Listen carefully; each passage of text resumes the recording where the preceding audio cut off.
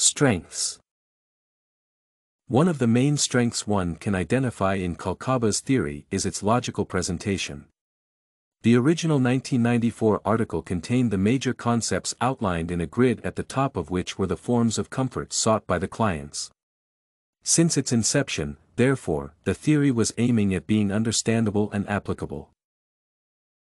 The author insists that the theory applies to a multitude of disciplines, with nursing as its major focus. For that sake, she has provided a clear definition of nursing and the role of nurses in addressing the patient's comfort needs. She unambiguously described what is expected from nurses at every stage of treatment within the framework of her theory.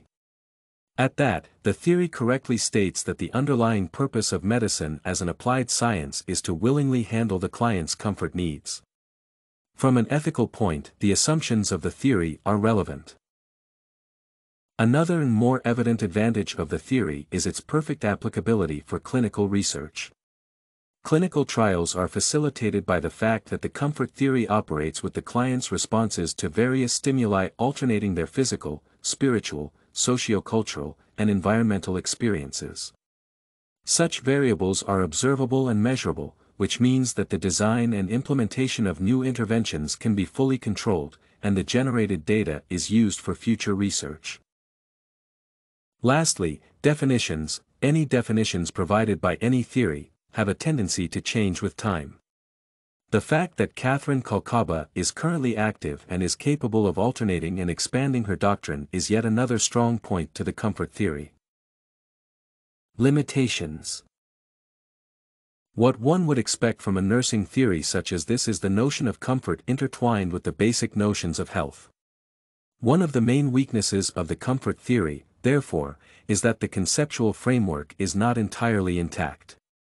That is to say, the concepts and definitions are rather poorly aligned. For instance, the definition of health that the author provides does not agree with other components of the theory. To take another example, the concept of functioning is nowhere to be seen in Kolcaba's reasoning.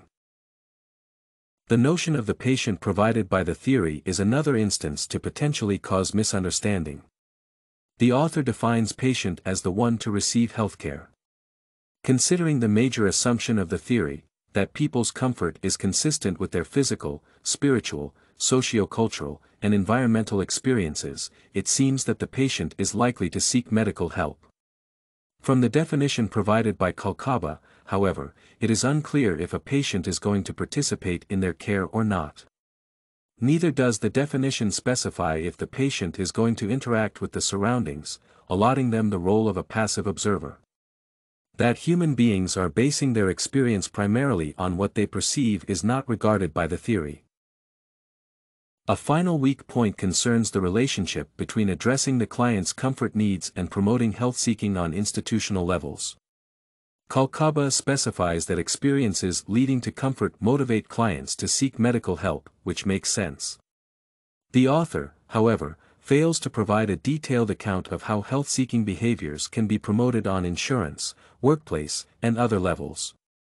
Thus, despite the author's assurance of the wide applicability of the theory, it does not subsume any ways to use it outside of the nursing practice.